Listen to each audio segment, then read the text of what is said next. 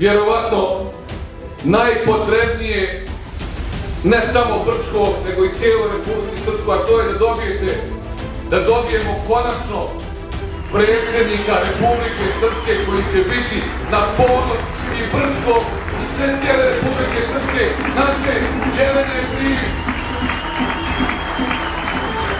Jelena Krivić. Po onome što vidimo i osjećamo i vi to najbolje osjećamo.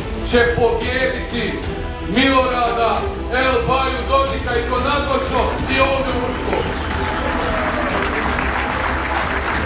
da zajedno sa Jelenom formiramo narodnu vladu Republike Srpske koja ima šta raditi u Brčkom distriktu. I zato vas pozivam, idemo svi zajedno za Mirka Šadovića, za Jelenu Krivić, za ove divne ljude, da pobjedi Brčko i da pobjedi Republika Srpska.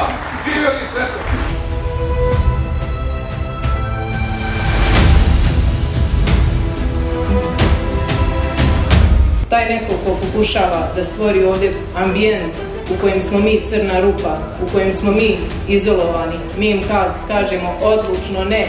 Srbi su svijet, Srbi su Europa, Srbi su kultura, Srbi su emancipovan narod i takve ćemo odbaciti. Dobit ćemo ljude koji će biti dostojni najveće srpske pobjede Republike Srpske. Ja vam to obećavam. Hvala vam, živjet, živjet.